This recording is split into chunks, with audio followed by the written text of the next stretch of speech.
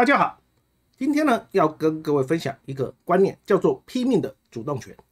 在前几天，我的学生传赖给我，然后跟我讲说他拼命的这个情况，我一看就知道他一定是呢网络上去跟人家留言，然后呢到最后呢，人家呢私讯给他，变成是这个网友要求他拼命。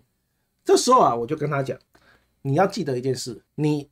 一定是觉得他很可怜，你才会帮他拼命。他说：“对，他就是因为觉得他很可怜，才帮人家拼命。”我说：“每个人都一定跟你卖惨，你才会去帮他拼命。但实际上，你要记得，不要把所有人都当很可怜，而是要把他当做你会这样是应该的。这是第一个，你要知道你会这样是应该的。第二个，你呢在拼命的这个过程里面，是因为对方要求你帮他批，所以你帮他批了以后。”变成是呢，主动权在他手里，是我要你批，你帮我批，所以变成呢，他是考官，你变成是学生，所以他出题，你一直在那边批，所以批完了以后，你不但呢不会有啊很有成就的感觉，你还会呢满肚子大便。他就说，对，这个就是因为你被人家牵着鼻子走，所以在拼命的这个情况里面，我一直在跟。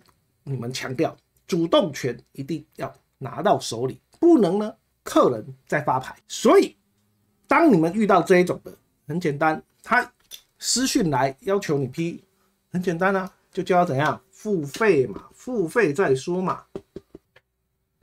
跟你说，百分之九十九的不好意思就退了。那真正会付费给你的，他绝对是有问题。这时候我们说了，拼命是要有需求在先，拼命才会准。跟你说，这样的拼命绝对会很轻松，而且主动权会在你自己身上。那另外一种，我刚刚说过，大多数人都卖惨。另外一种是说，哦，我多多好，我多厉害，身价多高，要求你帮他批，别傻了。你要记得一件事，我不管你身价多高，我也不想跟你攀关系。反正呢，我帮你批了，你也不会让我变有钱。所以在这种前提条件下，也是不要去啊。帮这种人批，而且会这样讲的，通常身价不会高，所以你要记得一件事，这一种情况，客人要就是卖惨，觉得他很可怜，帮他拼命，不然就是要让你觉得哇，他高高在上，你帮他拼命，以后你可能会获得好处。各位，这些都是假象，你要记得，你就是付钱给我，否则你就不要再说。所以各位，你就要。知道说哦，原来批命是要这样子的，而不是呢，客人说你要批你就批不行的，而是呢是你要照我的规则，我才要帮你批。所以各位你就要了解，在网络上很多他们都是呢态度高傲，因为毕竟来讲，在网络上是什么命理师写文章或者是拍影片给你看。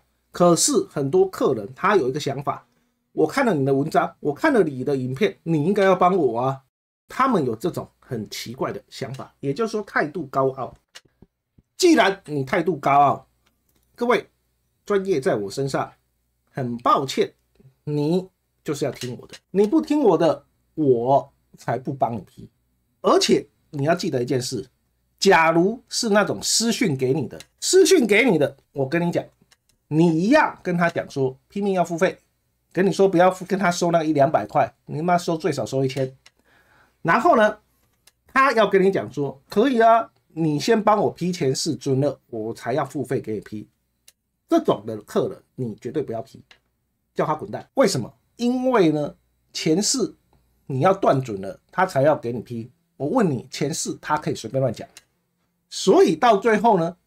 你会变成呢？哎，你批不准，然后啊，你就会呢？哎，奇怪，我怎么会批不准？你会心虚，心虚了以后，然后你就跟他讲啊，你今年呢可能是怎么样？他就说对，可是呢，你只要一进入到后面的时候，你根本就不可能收到钱，而且对方的态度会很强悍。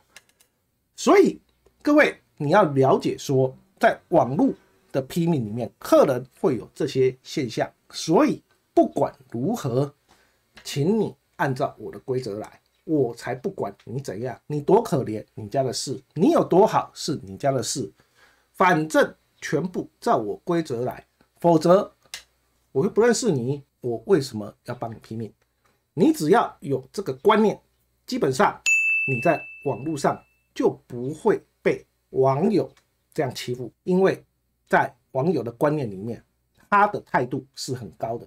当态度很高，一脚把他踹开就好了。你不用去说啊，我得罪了人，他们连真实的名字都不会写了。请问有什么觉得你会去得罪别人的？所以啊，各位，这就是网络上的一个客人心态，他会在无形中做大他自己，可是他忘记他在现实生活中是什么样的角色。所以，当你了解了以后，再拼命还没批命前。就是呢，要态度坚决，否则不予批命。各位，这个就是呢，网络上批命最重要的一个点。